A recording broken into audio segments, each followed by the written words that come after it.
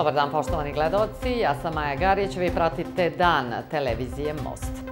Ove vesti počinjemo informacijom da će nova runda dijaloga Srbije i Kosova na visokom nivou biti održana 14. septembra u Briselu.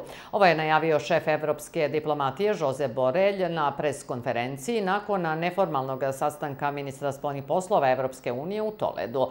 On je rekao da će taj sastanak biti još jedan pokušaj da se reši aktuelna situacija. Biću domaćin novog sastanka u okviru dijaloga Beograda i Prištine na nivou lidera 14. septembra, na kojem ćemo tražiti rešenja za sadašnju situaciju, naveo je Borelj. U nastavku i ostale vesti koje su obeležile današnji dan. Predsednik Vučić kaže da je teško naći rješenje u dijalogu Beograda i Prištine kada druga strana traži razloge za sukobe i napade. Najavljeni sastanak Vučića i Kurtije u Briselu neće imati nikakvog efekta, već samo treba da pokaže da Evropska unija radi na rješenju krize, smatra Milovan Drecu.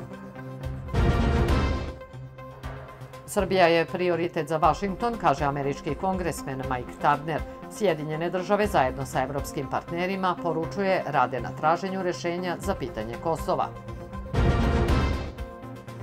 Srbija poštuje teritorijalni integritet Ukrajine i nastavit će da to čini i u budućnosti, preneo u razgovoru predsjednik Vučić ambasadoru Tolkaču.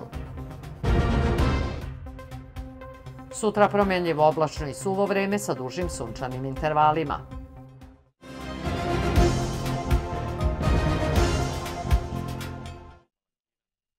Predsjednik Srbije Aleksandar Vučić rekao je da je teško naći rješenje u dijalogu Beograda i Prištine kada se razgovara sa ljudima koji ne žele da traže rješenje, već traže razloge za sukobe i napad na Srbe. Na pitanje da li je od Miroslava Lajčaka čuo nove ideje o pitanju oživljavanja dijaloga, Vučić kaže da je ideja mnogo, ali da rješenja ponestaje. Vučić je rekao i da se postavlja pitanje zašto je velikim rodoljubima bilo potrebno da ruše srpsku listu u jednom od najtižih trenutaka u savremenoj istoriji Srbije. On je to izjavio prilikom obilaska rekonstruisanog puta Raška Novi Pazar, odgovarajući na pitanje šta je poenta plasiranja lažnih vesti o predsedniku Srpske liste Goranu Rakiću, koji je na društvenim mrežama, a potom i u nekim medijima prikazan kako se navodno provodi na jahti u Budvi, iako je na fotografiji zapravo osnivač Amazona Jeff Bezos. Govoreći o trenutnoj situaciji na Kosovu, predsjednik Srbije Aleksandar Vučić je rekao da je trenutno veoma teška situacija e, za Srbe koji žive tamo, ali i za samu Srbiju i da naredni period koji sledi je zaista težak za sve. E, pričao je o tome šta je govorio i pričao sa e, izaslanikom Evropske unije za dijalog Beograda i Prište Miroslavom Lajčakom, rekao da je čuo puno predloga, ali slabo rešenja i da je formiranje zajednice srpskih opština i dalje daleko. Također je pomenuo i da se sada vodi prljava kampanja protiv srpske liste predsjednika Gorana Rakića, sad sve sa ciljem da ovim teškim vremenima se sroza srpska lista i da se srpska lista rastori. A sada da čujemo šta je još predsjednik rekao o trenutnoj situaciji i o mogućim rješenjima problema na Kosovu. A mi se postoje pitanje, a što je vama velikim rodoljubima bilo potrebno da rušite srpsku listu u jednom od najtežih trenutaka u savremenoj istoriji Srbije? U danu kada su Albanci donali odluku o ekspropriaciji, u danima, još sedam dana je ostalo kada će pokušati da zauzmu zgradu na se, u Severnoj Mitrovici. U danima kada pokušavaju da protipravno ukinu licencu Telekomu Srbije. Znači, neko se ipak izborio za tu Telekomovu licencu u prethodnom periodu na tom mestu. Tri meseca je skoro od kada roba srpska ne može da uđe na Kosovo i Metohiju. Naše bolnice više nemaju dovoljno lekova. A kako je moguće da ste jedva dočekali Kurtijeve napade i srpskih bednika napade da to iskoristite i da to puštate po svojim kanalima? Kako je to moguće? A zašto? Pita vas čak i da je tako, da je Jeff Bezos postao Goran Rakić, a što, šta vas je to vuklo da to radite? Da radite protiv svoje zemlje, protiv svog naroda? Šta je u glavama tih ljudi? Zašto to moraju da rade? A Kurti bi da ima svoje Srbe poslušnike, baš te iz narkoklanova. Imate tog jednog koji je držao narkokartel, pa je zato što je ucenjen morao da pristane da bude neki od njegovih najbližih saradnika i tako dalje. Dakle, okupi te i ostale poslušnike za nešto sitno para i aj sad samo govorite protiv Beograda, govorite protiv Srbije, govorite protiv srpskog naroda u celini. Mnogo problema imamo, ja sam pomenuo četiri goruće teme, a neću ni da pominjem koliko smo daleko hiljadama milja od formiranja zajednice srpskih opština koja bi rešila taj problem iz grade u Mitrovici i mnogih drugih zgrada i tako dalje, jer im to ne pada na pamet da to urade. Tako da, ali dobro, ovo ovde su dobre vesti, ovo ovde su dobre vesti i ponosan sam na ove divne radnike, ponosan na to što Srbija napreduje, to što radimo i ponosan na to što ovde ljudi znaju da ćemo da živimo u miru i u slozi i da ćemo zajednički i jedinstveno da gradimo našu zemlju. Predsednik Srbije Aleksandar Vučić došao je danas e, ovde u Rašku, ono to jest između Raške i Novog pazara, gde je obišao rekonstruisani e, put u dužini od 18 km, koji je završen e, tri meseca pre roka, sve zahvaljujući radnicima firme koje su radile ovaj put. Takođe je najavio i u narednom periodu dodatno ulaganja u infrastrukturu za Novopazarski i Raški okrug.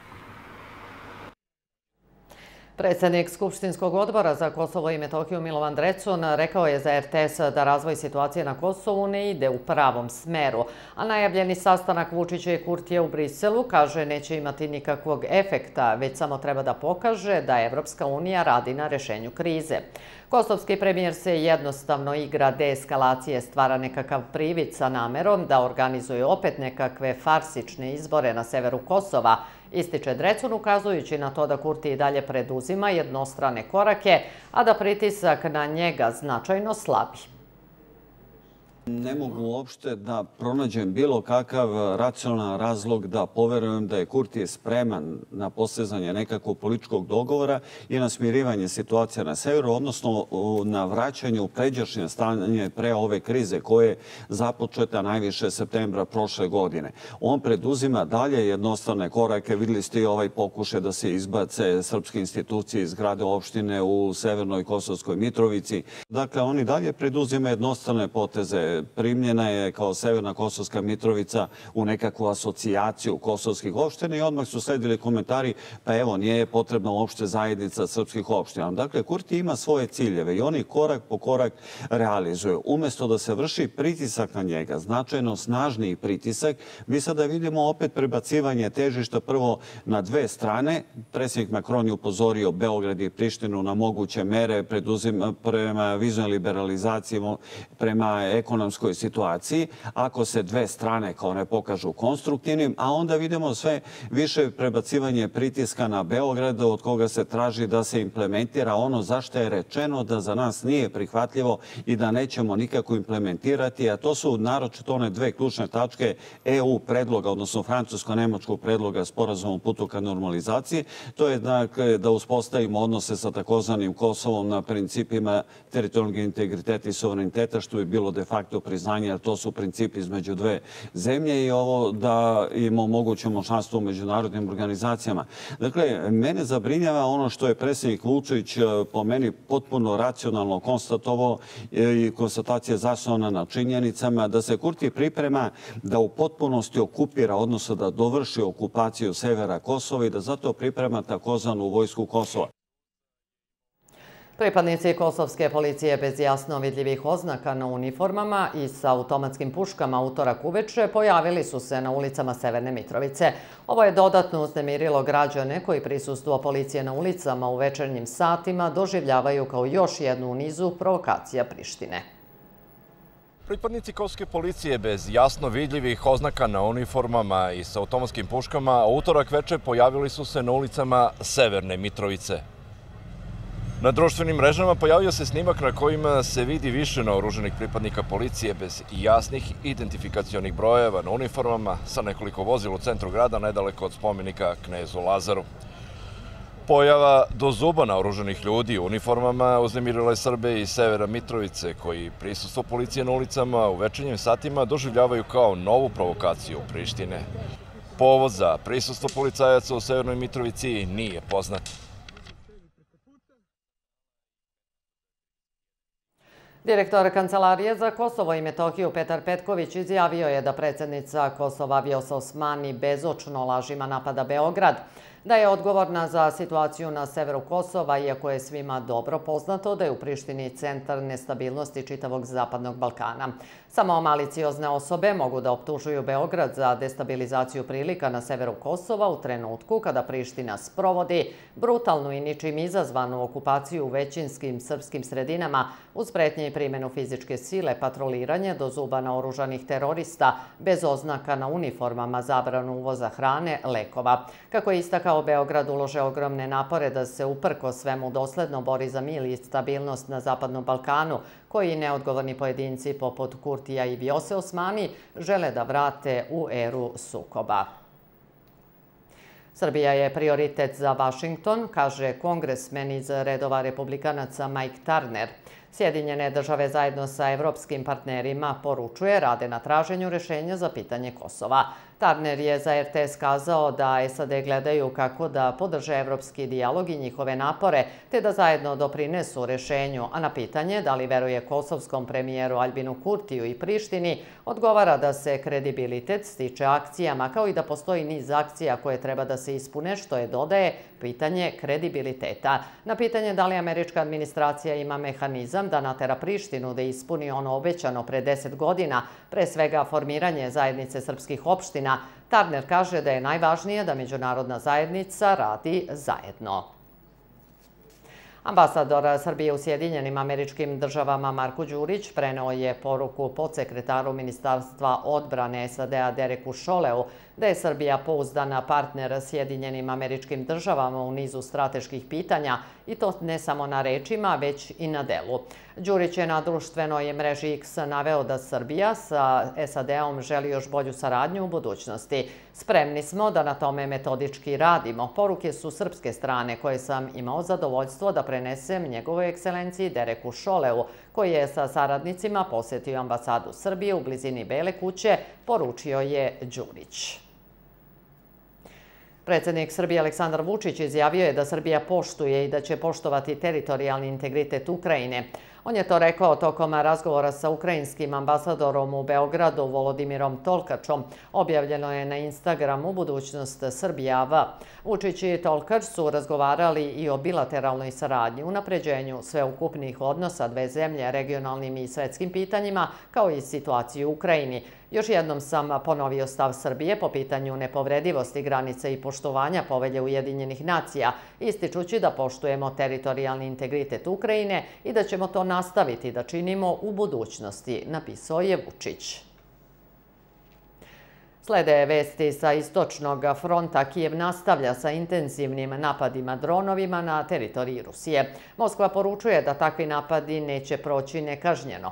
Rumunija i Holandija uspostavljaju centar za obuku ukrajinskih pilota za F-16. Šef Evropske diplomatije Jose Borelj predložio je osnivanje fonda za pomoć Ukrajini. Gradonačelnik Moskve Sergej Sobjanin objavio je da je ruska PVO oborila dron koji se približavao gradu. Ruski mediji su ranije javili da je desetine letova odloženo na moskovskim aerodromima koji obično obustavljaju operacije tokom napada dronovima.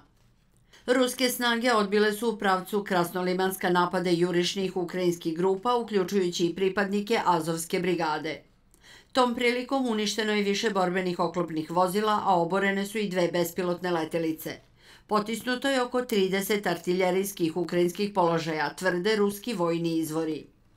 Moskva je optužila Kijev za pokušaj napada dronovima na pet regiona u centralnoj Rusiji i Pskovsku oblast na severozapadu zemlje.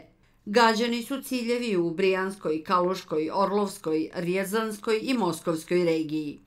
U oblasti Pskov, udaljeno od Ukrajine više od 600 km, pogođen je i vojni aerodrom. Iz Moskve poručuju da talas napada na rusku teritoriju neće proći nekažnjeno. Navode da su u Crnom moru uništena četiri vojna čamca oruženih snaga Ukrajine, u kojima se nalazilo oko 50 vojnika, te da su borbeni avioni uništili i dva ukrajinska mornarička čamca sa posadom u blizini Zmijskog ostrva u Crnom moru. Kijev je, sa druge strane, saopštio da je nekoliko zgrada zapaljeno, te da su dve osobe poginule u ruskom napadu na Kijev.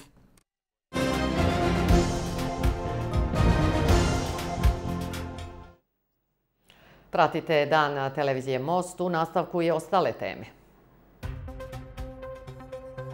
U toku prijavljivanje za prijem studenta u drugom konkursnom roku na fakultete Prištinskog univerziteta. Školska godina u srpskim sredinama na Kosovo počinje neposredno 1. septembra. U Gračanici zatvorena škola filmske magije. Mladi bili u prilici da se upoznaju sa svim aspektima stvaralaštva na filmu. Sutra promenljivo oblačno i suvo vreme sa dužim sunčanim intervalima.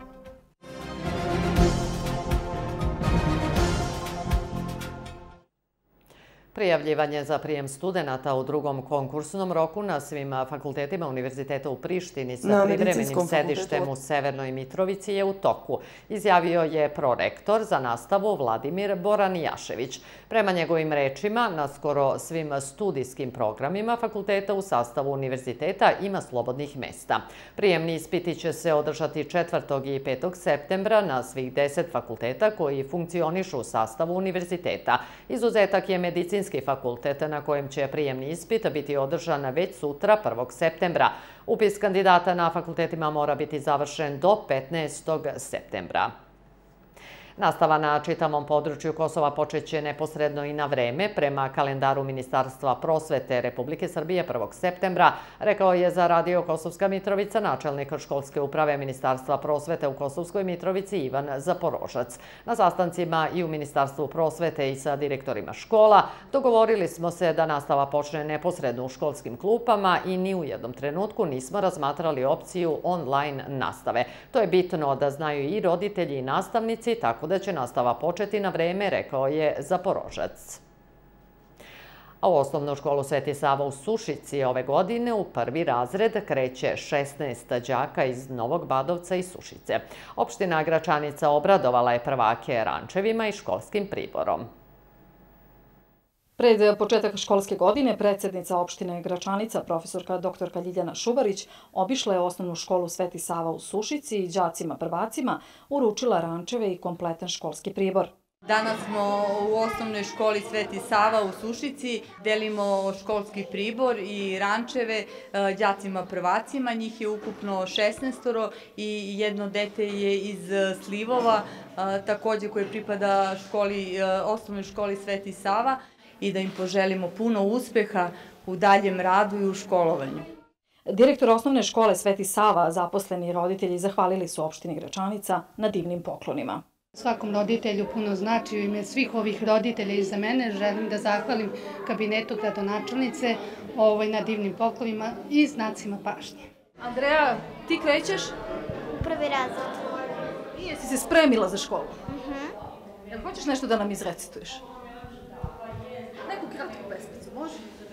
Petriću pevaču, sutra me probudi, pre nego što ptice iz gnezda poskaču, predice i ljudi, vikni glasnom jasnim, prvi dan u školi, da ti ne zakasni. Reci mi kako se zoveš? Veljko. I Veljko, ti si dobio ranac, gdje ideš? U školu. U koji razred? U prvi. I jel voli školu? Da. Predsjednica opštine Gračanica i u narednom periodu će obilaziti škole na teritoriji opštine Gračanica, a za sve džake prvake opština Gračanica je obezbedila poklone. U Domu kulture u Gračanici zatvorena je škola filmske magije koja se organizuje već devetu godinu za redom. Tokom trajanja radionice učesnici su imali priliku da se upoznaju sa svim aspektima stvaralaštva na filmu, uključujući pisanje scenarija, produkciju, režiju, glumu, kameru i montažu. Tema ovogodišnje škole bila je pravljenje spota. Prikazivanjem trominutnog spota i dodelom sertifikata danas je završena deveta po redu škola filmske magije, manifestacija koju organizuje Dom kulture Gračanica u saradnji sa produkcijskom kućom Gargantua Films iz Beograda. Poruka spota, koja je rezultat ovogodišnje škole filmske magije, je nešto najlepše što se mladima može poslati pred početak nove školske godine, istaknuto je na zatvaranju. Mi, malo stariji, dolazimo iz civilizacije knjige, a vi, mladi, ulazite u civilizaciju slike i dolazite iz civilizacije slike. E, ta, nalazimo se tačno na prelazu te dve epohe i od njih će zavisiti naša sudbina. Možete li da zamislite svoj život bez mobilnog telefona? To je ključno pitanje. A ovaj spot poručuje e, da je to moguće i da je to važno. Kao i proteklih godina, interesovanje dece za sve oblasti filmskog stvaralaštva bilo je veliko. Kao neko koji je u školi filmske magije od samog početka, dakle od pre osam godina, htjela bih da kažem da je svaka generacija pokazala visok nivo kreativnosti i istrajnosti i hrabrosti da se uhvati u koštac sa pravljenjem filmskih dela i bravo za ovogodišnji spot. Da ne bude zabune, mi kao mentori nismo učestvovali u idejnom pravljenju ovog spota, sve su polaznici sami smislili, mi smo tu bili samo da ih usmerimo. Mogli smo mi da budemo i ovakvi i onakvi, ali su ono, ovi divni mladi ljudi, toliko energije, toliko ljubavi, želje i mašte i pameti da su nas faktički gurali da mi nešto budemo vredni. Ovaj, kako da ne budem zadovoljan? Radostan sam do neba. Iako je škola otvorena za sve bez obzira na godine, primarnu ciljnu grupu i ove godine činili su srednjoškolci. Naučili smo šta se dešava iza kamere, taj postupak koji je možda nama nepoznat. Uvijek smo vidjeli platno i šta je to na platnu, ali ono što se dešava iza kamere, to nikad, niko od nas nije imao susret s tim. Tako da radili smo kao jedan veliki tim. Iako smo pokazali različite module, režije, scenografija, kamera, glumci su bili tu, ali smo nekako svi zajedno radili, što je nekako i najbitnije u ovom trenutku. Pokrovitelji manifestacije Škola filmske magije i ove godine su Kancelarija za Kosovo i Metohiju i Ministarstvo kulture vlade Republike Srbije.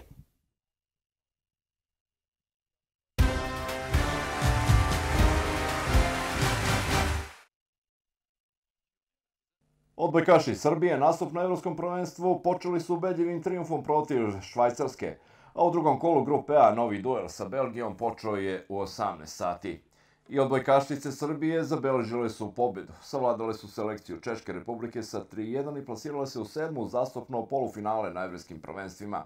Ekipa Giovanija Gvidetija izgubila je prvi set, a potom ubedljivom igrom došla do borbe za medalje. Protivniku u polufinalu u petak bit će im ekipa Holandije. Žreb za grupnu fazu Lige šampiona počeo je pre 20 minuta u Grimaldi forumu u Monaku. Šampion Srbije Crvena zvezda iz trećeg šešira iščekuje imena protivnika u elitnom takmičenju. Utakmice prvog kola na programu su 19. i 20. septembra, dok se grupna faza takmičenja završava mečevima 6. kola 12. i 13. decembra. Finale je zakazano 1. juna na londonskom Wembleyu. Futbaleri Partizana jure protiv North Zealanda pet golova za ostatka iz prvog meča u Danskoj. Revanš se igra na stadionu u Hunskoj od 21 čas i futbaleri Čukaričkog igraju protiv Olimpijakosa remaš meč baraža, a grčki tim iz Pireja triumfovao je 3-1. Ekipa sa Banovog brda pokušat će da nadoknadi dva gola minusa, ali i u slučaju da ne uspe, očekuje ih Liga konferencije. Utakmica između Čukaričkog i Olimpijakosa igra se 20 časova na novom stadionu Dubočice u Leskovcu. Reprezentativa Srbije u košarci Aleksa Vramović rekao je da u oči utakmice protiv Italije na svetskom prvenstvu da će Orlovi izaći sa većom motivacijom zbog Boriša Simanića koji je operisan nakon udarca u predelu Bubrega. Srbija će odigrati prvi meč druge faze svetskog prvenstva protiv selekcije Italije u petak 1. septembra od 10 sati. Srpski teniser Laslo Đere rutinski je savladao Francuza Uga Gastona 3-0. Po setu ima 6-1, 6-2, 6-3 i izborio plasman u treće kolo US Opena. Naredni rival Đeru bit će Novak Đoković. Najbolji srpski teniser izborio je plasman u treće kolo US Opena nakon triufa nad Zapatom Miraljesom iz Španije. Susret srpskih tenisera na programu je sutra oko 17 sati.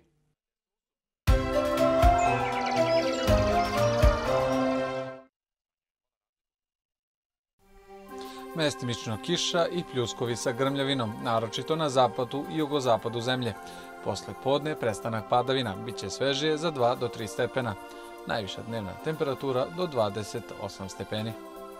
U petak promenljivo oblačno i suvo vreme sa dužim sunčanim intervalima, a samo još na jugu i jugozapadu ponegde sa uslovima za kratkotrajnu kišu ili pljusak. Vetar slab istočnih pravaca, najniža temperatura od 13 do 18, a najviša od 25 do 28 stepeni.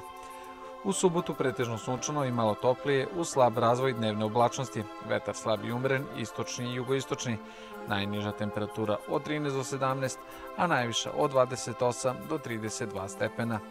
U nedelju pretežno sunčano i malo toplije uz slab razvoj dnevne oblačnosti, vetar slab i umeren, istočni i jugoistočni, najniža temperatura od 14 do 18, a najviša od 29 do 32 stepena. Biometrološka situacija će povoljno uticati na većinu hroničnih bolesnika i meteoropata. Blagi oprez se savjetuje srčanim bolesnicima. Moguće meteoropatske reakcije su promenjivo raspoloženje i glavobolja. Još jednom da čujemo koje su to vesti obeležile današnji dan. Predsednik Vučić kaže da je teško naći rješenje u dijalogu Beograda i Prištine kada druga strana traži razloge za sukobe i napade. Najavljeni sastanak Vučića i Kurtije u Briselu neće imati nikakvog efekta, već samo treba da pokaže da Evropska unija radi na rješenju krize, smatra Milovan Drecu. Srbija je prioritet za Washington, kaže američki kongresmen Mike Turner. Sjedinjene države zajedno sa evropskim partnerima poručuje rade na traženju rešenja za pitanje Kosova.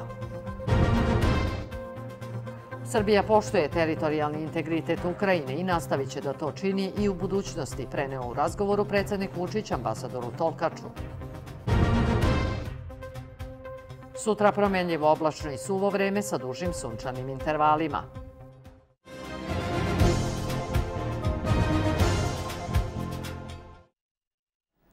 Poštovani gledalci, da još jednom ponovimo informaciju s početka vesti da će nova runda dijaloga Srbije i Kosova na visokom nivou biti održana 14. septembra u Briselu. Ovo je najavio šef Evropske diplomatije Jose Borelj na preskonferenciji nakon neformalnog sastanka ministra spoljnih poslova Evropske unije u Toledu. On je rekao da će taj sastanak biti još jedan pokušaj da se reši aktuelna situacija. Biću domaćin novog sastanka u okviru dijaloga Beograda i Prištine na nivou lidera 14. septembra septembra, na kojem ćemo tražiti rešenja za sadašnju situaciju, naveo je Borelj. Ovo je bio dan televizije Most. Hvala na pažnji i doviđenja.